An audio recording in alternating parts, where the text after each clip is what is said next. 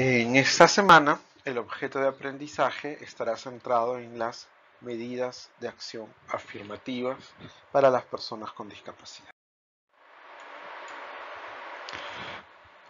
Para empezar, podemos decir que la acción afirmativa, también conocida como discriminación positiva, es una medida que implica un trato diferenciado a una persona a cierto grupo de personas con el objetivo de disminuir una desigualdad o permitir que accedan a un derecho. ¿Qué quiere decir esto?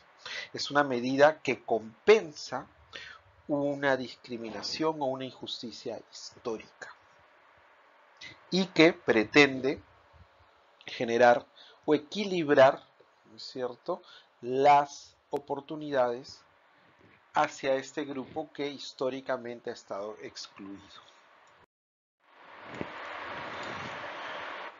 Las acciones afirmativas promueven la igualdad entre todas las personas y ponen en evidencia que existen desigualdades estructurales con las que hay que luchar. Una de las características fundamentales de las acciones afirmativas es que tienen un carácter temporal, ¿no? es decir, son vigentes hasta que esta situación de injusticia se haya revertido. Un ejemplo muy claro de las acciones afirmativas son las cuotas. Por ejemplo, ¿no?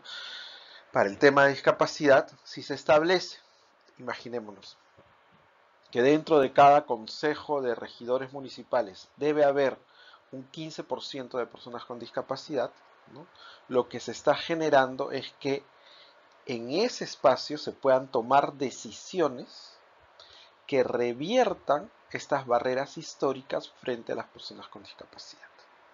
Para que esto se lleve a cabo, una estrategia es generar esta eh, como prioridad, ¿no es cierto?, hacia las personas con discapacidad. ¿no? Esta prioridad, esta diferenciación es fundamental para revertir la injusticia histórica. Esa es la función de las acciones afirmativas.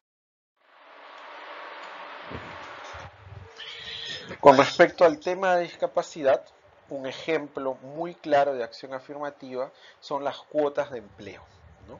La Ley General de las Personas con Discapacidad propone que debe haber una cuota de 5% en entidades públicas y 3% en entidades privadas para personas con discapacidad.